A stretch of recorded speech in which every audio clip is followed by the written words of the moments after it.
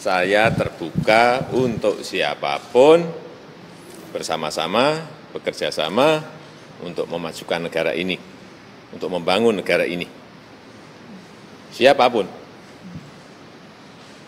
Nah, bicara soal sudah Hmm? adakah rencana pertemuan dengan Pak Prabowo dalam waktu dekat ini Pak Jokowi setelah kemarin kan Pak JK juga informasi sudah bertemu dengan Pak Prabowo. Hmm. Kalau dengan Pak Jokowi seperti apa? Belum, belum.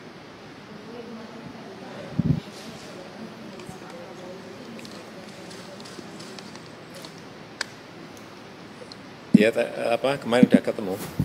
Kemarin Pak Wapres, Pak JK udah ketemu. Laporannya seperti apa Pak? Saya belum ketemu Pak JK. Harusnya tadi, eh, siang tadi. Tapi ada acara lain, jadi belum bertemu. Apa? Atas inisiatif Pak JK dan saya. Artinya eh, Pak JK sama Bapak Ya malam ini. Apanya? Pak JK Ya nanti kalau Pak apa Pak Pres sudah menyampaikan ke saya baru saya bisa bicara. Belum ketemu. Hah? Harusnya tadi pagi dengan Pak Wapres, tapi karena beliau ada urusan yang saya juga ada, waktunya aja. Kalau udah ketemu nanti saya sampaikan. Apanya? Hmm? Hmm. Belum ada apa? Apanya? Pertemuan dengan Pak Prabowo. Nggak tahu. Tapi kalau Bapak lihat kan ini inisiatif Yang jelas kan setelah coblosan itu saya kan sudah menyampaikan kita berkeinginan berinisiatif untuk bertemu, tapi sampai sekarang belum ketemu. Nggak jelas kan?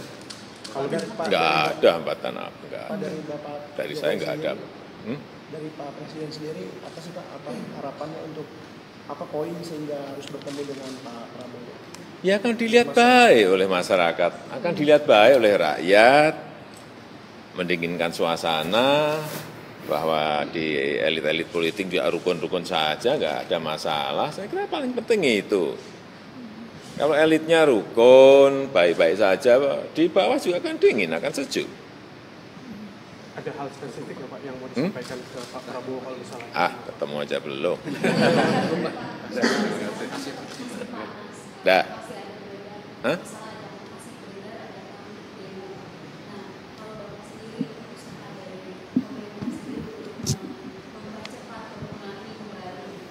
Ya ini kan proses-proses politik kan terus kita lakukan, bertemu misalnya dengan Pak Zulkifli, itu proses-proses politik yang kita lakukan agar suasana menjadi dingin semuanya. Setelah 8 bulan, kita 7-8 bulan kita kampanye panas, panas, panas, panas, kemudian coblosan, nah ini ada, ada proses pendinginan, sehingga saya bertemu Pak Zulkifli dari PAN, bertemu Mas AHY dari Demokrat, itu proses-proses seperti itu yang ingin kita lakukan.